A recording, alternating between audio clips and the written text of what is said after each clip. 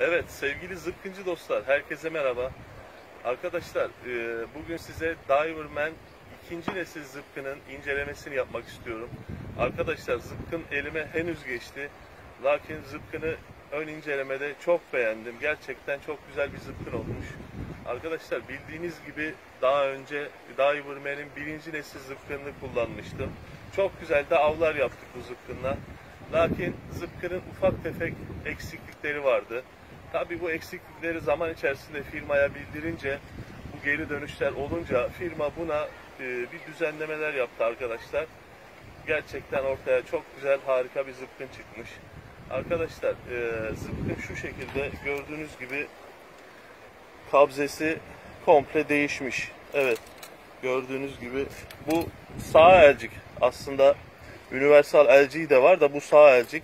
Kabze birinci nesildeki kabze ele tam oturmuyordu. Yani güzel şekilde oturmuyordu. Lakin bu kabze harika bir şekilde ele oturuyor arkadaşlar. Çok güzel oturuyor gördüğünüz gibi.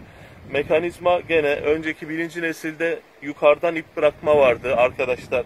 Bunda çeşitli aksaklıklar oluyordu. Lakin bu yandan ip bırakma gerçekten harika olmuş. Çok güzel olmuş. Evet zıpkında tetik değişmiş arkadaşlar. Gördüğünüz gibi parmağı tam oturuyor. Uzan uzan uzaklığı harika. Evet makarası gene değişmiş. Şu şekilde güzel bir makara yapmışlar. Bir makarayı çok beğendim. Çok hafif bir makara arkadaşlar.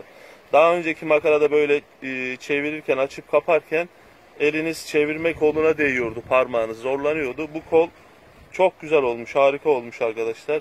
Evet zıpkında diğer bir değişiklik kabzeden elcikten tetik mekanizmasından sonra arkadaşlar zıpkının borusunda olmuş. Boruyu elektrostatik boya yapmışlar. Birincisinde dökülüyordu arkadaşlar. Bu boya çok harika bir boya. Gerçekten çok güzel olmuş. Ayrıyeten borunun e, şeklini de değiştirmişler arkadaşlar. Bilmiyorum. E, Cressy Cherokee kullanan var mı aranızda? Ben kullanmıştım. Şiş kanalını e, inanılmaz derecede değiştirmişler. Şişin sürtünme yüzeyi 0.5 0.5 milim olmuş arkadaşlar. Gerçekten çok güzel. Evet arkadaşlar onun haricinde bir de kafa değişmiş. Önceki kafa biraz daha patosa benziyordu arkadaşlar. Şöyle yakından göstereyim. Bunun kafası çok çok farklı bir şekilde olmuş. Evet gördüğünüz gibi çok güzel bir kafa olmuş. Yani çıkış yaparken buradan tele takıldı falan filan gibi bir şey yok arkadaşlar. Çok güzel.